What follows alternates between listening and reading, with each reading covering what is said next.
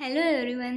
Today we will see standard 12 exercise questions of logic chapter 3 that is predicate logic. Question number 1. Filling the blanks with suitable words from those given in the brackets.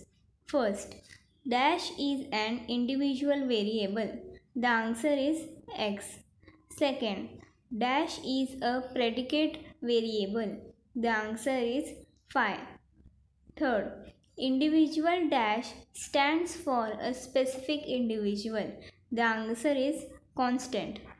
Fourth, the process of dash helps to derive singular proposition. The answer is instantiation.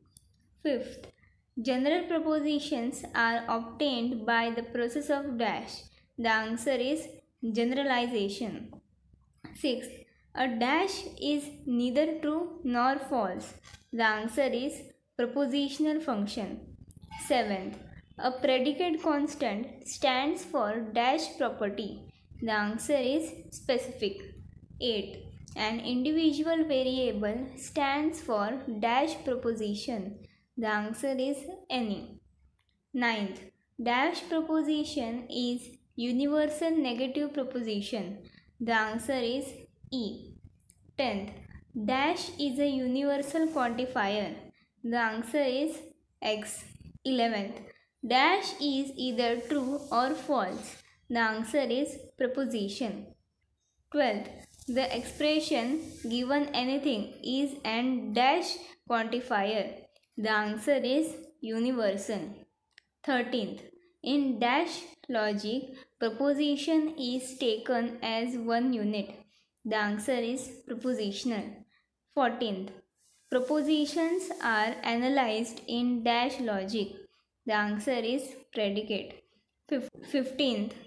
Dash proposition states that an individual possesses or does not possesses a certain property slash attribute. The answer is singular. Question 2. State whether the following statements are true or false. First, the expression give anything is an existential quantifier. The answer is false. Second, a singular proposition can be obtained from a propositional function by the process of instantiation. The answer is true. Third, a general proposition can be obtained from a propositional function by the process of quantification. The answer is true. Fourth, the rule of UG says that what is true of the whole class is true of each member of the class. The answer is false. The rule of EG says that what is true of an arbitrary object is true of all the members of a class. The answer is false. Sixth, the rule of EG says that an existential quantification of a propositional function can be validly inferred from its substitution instance. The answer is true. Seventh, phi is a universal quantifier. The answer is false. 8. In the formal proof of validity by quantificational deduction, if both the rule UI and EI are to be used, then EI should be used first. The answer is true. Ninth, the rules of UI and EI are used to drop quantifiers from general propositions. The answer is true. Tenth, the rules of UG and EG are used for inferring general propositions from truth functional compound proposition. The answer is true. 11th. In predicate logic, proposition is taken as one unit. The answer is false. 12th. Singular propositions make an assertion about class. The answer is false. 13th. Propositional function contains at least one bound variable. The answer is false. 14th. Singular proposition states that an individual possesses or does not possess a certain property slash attribute. The answer is true. Question number 3. Match the columns. First, proposition. The answer is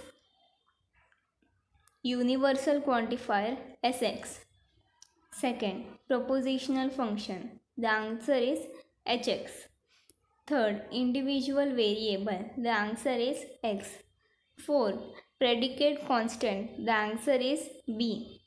Fifth, universal quantifier. The answer is bracket x.